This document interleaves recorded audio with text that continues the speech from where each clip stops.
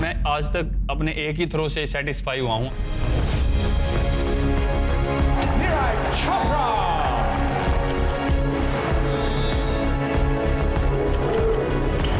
Javelin देखने से पहले जैवलिन थ्रोअर का ही देखा okay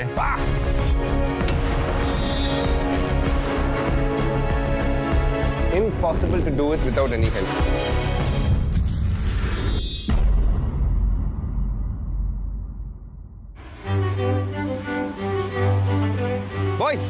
throw me some catches यार Ah. अरे, इधर तक तो फेंको। Properly come on throw right into my hands one more one more one more one more one more फेंको ना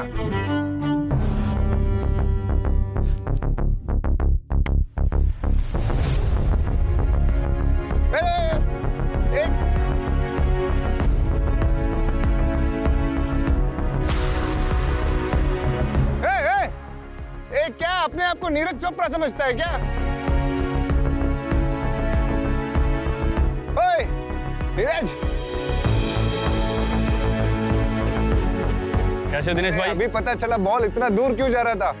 कैसे आप? बढ़िया आप बताओ। ठीक ठाक बढ़िया। Nice to meet you good to see you आपको पता है ना मैं क्यों इधर हूँ? बिल्कुल हम मुझे आज जैवलिन सीखना है। बिल्कुल थोड़ा हम तो बिल्कुल करेंगे ट्राई बिल्कुल कोशिश करूँगा। पर आपने कभी किया है? जेवलिन पहले जैवलिन? नहीं पहली बार देख रहा हूँ एक्चुअली अच्छा। जैवलिन देखने से पहले जैवलिन थ्रोअर का ही देखा। ओके इसका वेट क्या है? इसका वेट 800 ग्राम है दिखने में तो इतना हेवी लगता है एक्चुअली हाँ पर अगर उठाया तो सबको ऐसा लगता है हाँ। तो बेसिकली इसकी तीन ग्रिप है।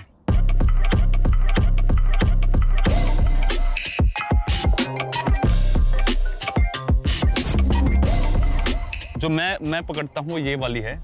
उंगली यहाँ पे होगी अंगूठा यहाँ पे और ये उंगली पीछे रहेगी। और इसको पूरा बीच में सेंटर में रखना है और यहाँ पे पीछे खोल के। okay. और जो थोड़ी कॉम्प्लिकेटेड जो बहुत ही कम थ्रोअर जो है ट्राई करते हैं वो ये है। एक थोड़ा सा सिंपल ग्रिप है जो मुझे लगता है स्टार्टिंग में जब ट्राई करते हैं ये। हाँ। ये, ये उंगली यहाँ पे एक अंगूठा। आप ये वाला सकते बोलते हैं। हाँ जी। हमारी जो कहावत है थ्रोवर्स की, कि 60 percent legs forty percent upper body तो लेग्स में स्ट्रेंथ और स्पीड और स्टेबिलिटी बहुत ज़्यादा होनी चाहिए, तभी हम एक अच्छा थ्रो कर पाते हैं, क्योंकि हमको पूरी पावर ज़मीन से लेनी होती है। जब हम भागते हैं, उसमें पूरा लेग्स का काम है क्रॉस स्टेप आते हैं, उसमें लेग्स का काम है। लास्ट में ब्लॉक करते हैं थ्रो करने से पहले।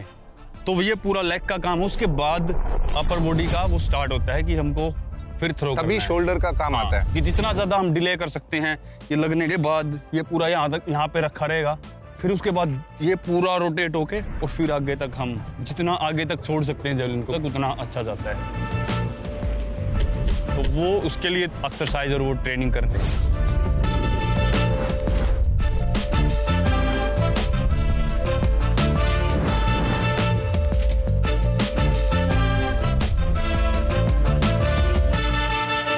मुझे देखना है लाइव एक्शन करते हुए। तो आप एक बार दिखाइए मुझे क्या क्या करते हो आप? जैसे आप रन करते हो, जैसे आप the last moment you throw मुझे वो सब देखना है लाइव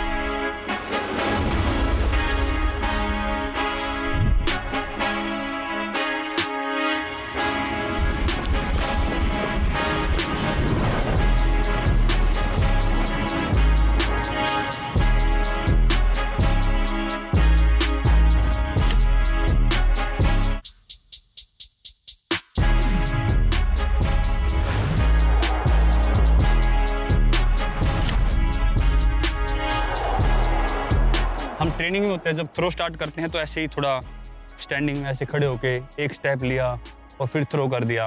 वो पहली चीज़ मैंने देखा लिटरली इधर रखते हो। हाँ। मतलब मेरा- शोल्डर का इतना फ्लेक्सिबिलिटी चाहिए कि ये इतना क्लोज और इतना पास आता है।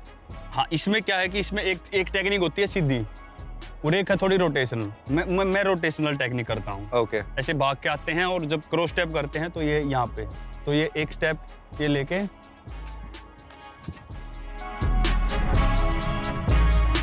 आप स्टैंडिंग से करके देख लो। स्टैंडिंग ले। तो इधर करके। इसको पहले ग्रिप ये सीधा। Okay okay. ये हाथ यहाँ पे रखना है। Okay okay. मतलब इसको थोड़ा इसके नीचे यहाँ पे। हाँ। अब आपको करना है ये बस सीधा फेंकना बस।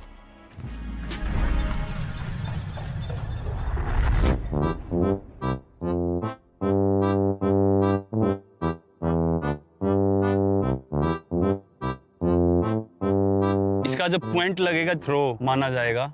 वरना ये फाउल हो जाएगा। चलो लेके आते हैं जेवलिन ये गलत क्या किया मैंने कि ये ऐसा ये आप आ, आपने इसे थ्रो किया इसको तो जो आपका पावर था हाँ। वो आपका ऐसे लगा जबकि जहाँ पे ये पॉइंट है उस पे ही थ्रो करना है। तो रनवे होता है 28 टू 30 मीटर मेरा। फिर जो मेन पार्ट होता है क्रो स्टेप ये जब हम जेवलिन को पीछे पुल करते हैं और तीन स्टेप होते हैं वन टू एंड थ्री तो ये उस तक थ्रो होता है और उससे लाइन से पहले हमको रुकना होता है।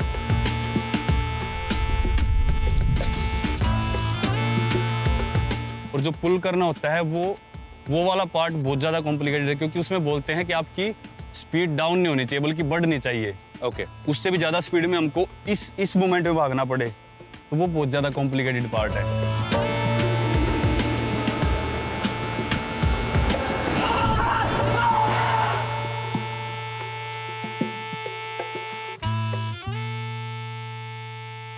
आप इतना तेज भाग के आते हो फिर साइड मुड़ते हो फिर थ्रो करते हो फिर कैसा ये मोमेंटम स्टॉप करते हो आप? इस करेक्टली इससे पहले ऑलमोस्ट हाँ वही करते हो आप? वही थोड़ा सबसे ज़्यादा मतलब मुश्किल जो पार्ट मुझे लगता है। 50 परसेंट से ज़्यादा इंजरी के चांसेस इस इसी उसमें होते हैं। ये जो पाँच मीटर के मतलब अंदर ये जो भी होता है। पाँच मीटर के अंदर और एक सेकंड के अंदर जितना काम होता है। पूरा इम्पैक्ट है वो यही है मतलब जो हम थ्रो करते हैं ये इतना। इतने में ही सारी इंजरीज और ये सब कुछ ये कॉम्प्लिकेशन है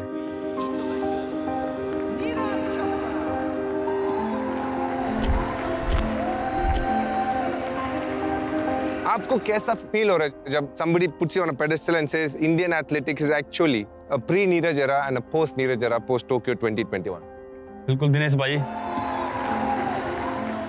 इंडियन एथलीट्स का एक मेंटलिटी चेंज करने में जो एक योगदान रहा है। पहले हम ऐसा सोचते थे कि शायद बाहर वाले एथलीट्स काफ़ी स्ट्रॉन्ग हैं, उनके बीच में कम्पीट करना टफ है मेडल जीतना टफ है ओलंपिक गोल्ड जीतना टफ है।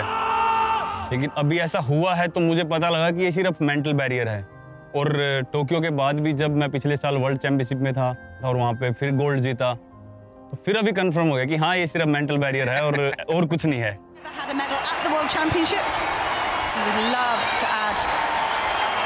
World Championship gold here. Oh, Neeraj Chopra really like that, and that is another great throw from the Indian. जैसे आपको भी बहुत सारे लोग मिल ऐसे बोलते होंगे पेरेंट्स मिलते होंगे बच्चे मिलते होंगे कि हमको भी अपने बच्चे को आप जैसा बनाना है या बच्चे बोलते होंगे कि यू आर आवर इंस्पिरेशन तो ऐसे ही मतलब मुझे टोक्यो के बाद ऐसे काफ़ी बच्चों से उनके पेरेंट्स से सुनने का मौका मिला तो वो बहुत ही मेरे लिए बड़ी बात थी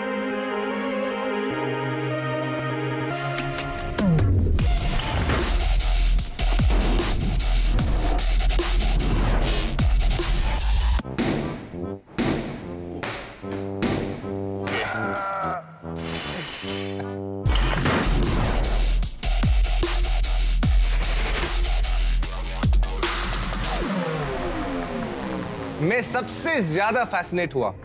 इंस्टाग्राम में आपने एक रील डाले थे जिसमें आप लिटरली पीछे जाते हो। मैं ये नहीं एक्सपेक्ट करता हूँ कि आप वो करो। ऑब्वियसली उसके लिए आप हाँ उसके लिए हाँ। उसमें क्या होता है कि मेन तो ये पूरा नी पे ऐसे बैठ के वेव बनाना होता है। मतलब कि तो पूरा वो फोर्स शोल्डर से निकल के मतलब एक एग्जांपल दिखाया आपने।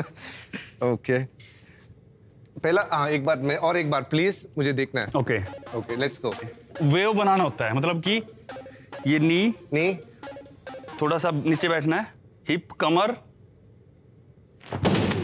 हाँ। और बाकी के ये साइड में ये भी करते हैं हिप का मूवमेंट भी काफ़ी होता है तो ये साइड में।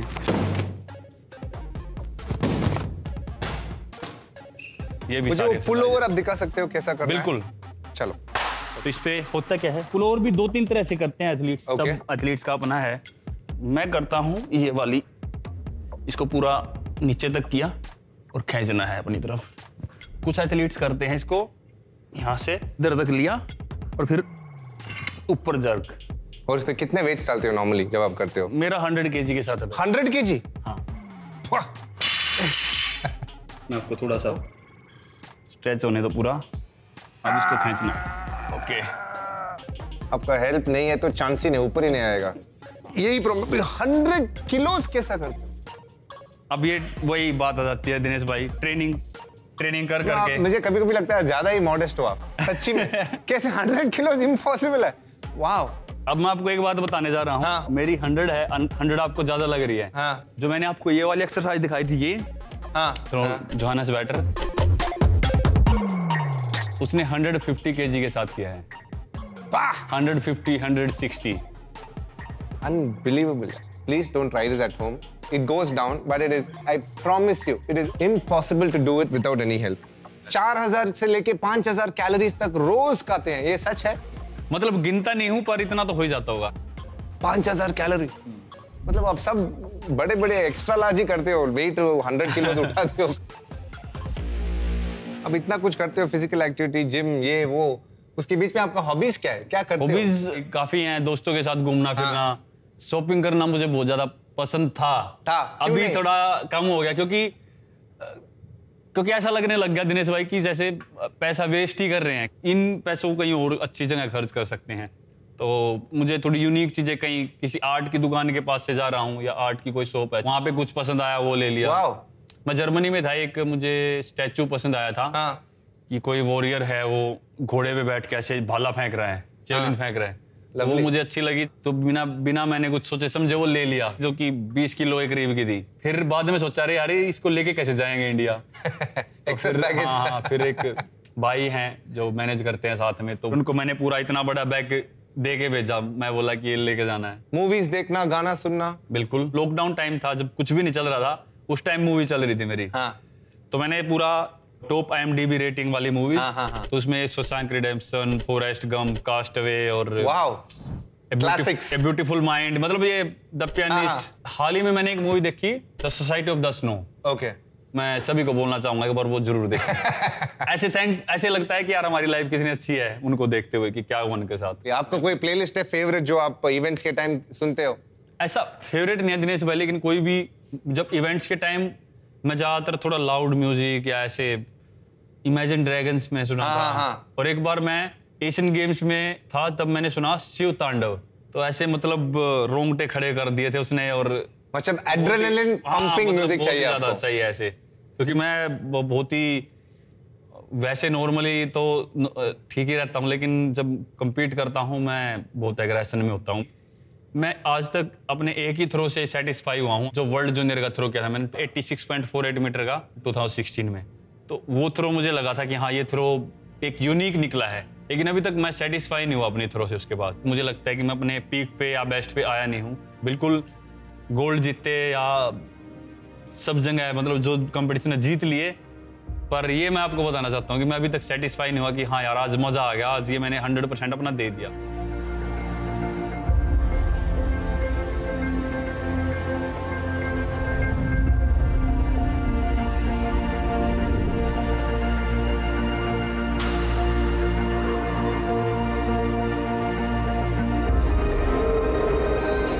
In your mind, what are the five ingredients to become an Olympic champion?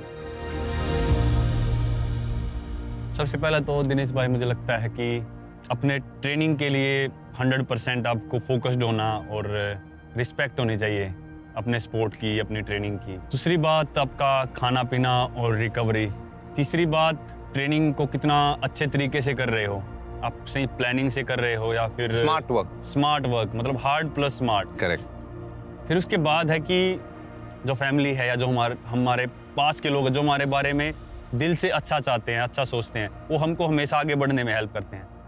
जो लास्ट बात है जो मुझे सबसे ज़रूरी लगती है कि सेल्फ बिलीव कई बार मेरे साथ भी ऐसा हुआ है कि शायद से लास्ट थ्रो तक मेरा थ्रो अच्छा नहीं है, लेकिन फिर भी मुझे खुद पे बिलीव होता है कि नहीं एंड तक भी मुझे करना है। और काफ़ी कॉम्पिटिशन्स में ऐसा हुआ है कि लास्ट थ्रो में मैं फ़र्स्ट हुआ हूँ।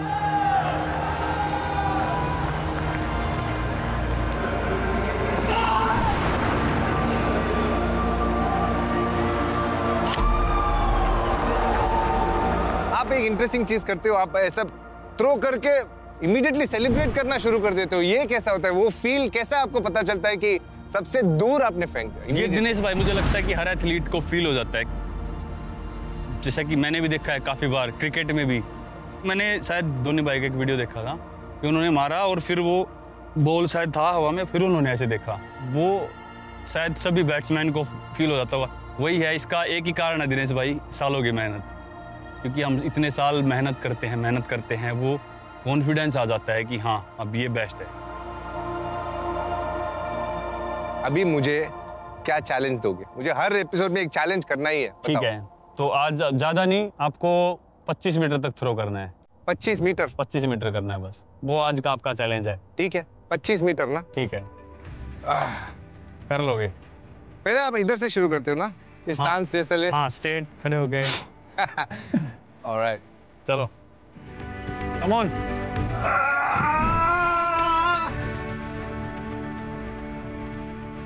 ठीक था अच्छा तो था वैसे। 25 से थोड़ा सा कम है। 25 last last one last ready चलो हो जाएगा दिनेश भाई।